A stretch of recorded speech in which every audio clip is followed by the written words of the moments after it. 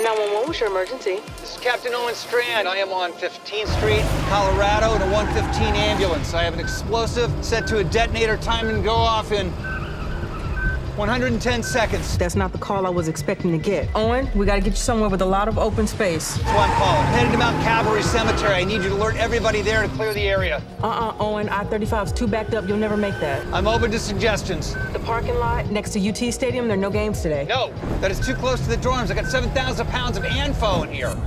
ANFO, you're absolutely sure? I'm pretty sure.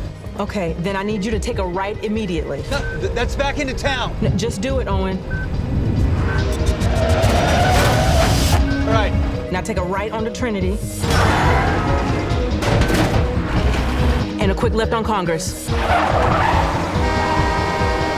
right, I'm on Congress. Okay, now I need you to gun it. Grace, where the hell am I going? There's a boat ramp into the river six blocks from you. You're going in. Anfo goes completely inert when it's submerged underwater.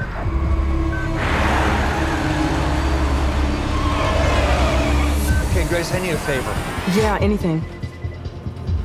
Can you just say a little prayer that nobody's using that boat ramp? I will. And I'll say a prayer for you too, Owen. I appreciate that. God.